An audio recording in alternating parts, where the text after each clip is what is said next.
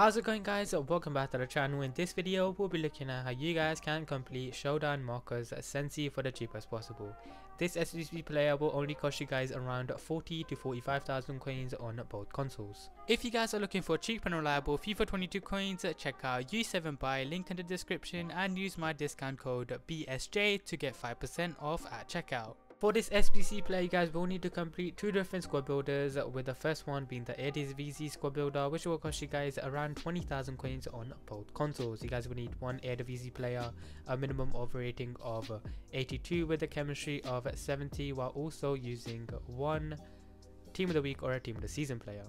Moving on to the Argentina squad builder, uh, this will cost you guys around 20 to 22,000 coins as well, with you needing one Argentine player, at least one inform or a team of the season player, a minimum of rating of 83 with a chemistry of 70. If you guys did find this video helpful, don't forget to leave a like, subscribe and turn notifications so you don't miss out more FIFA like content like this.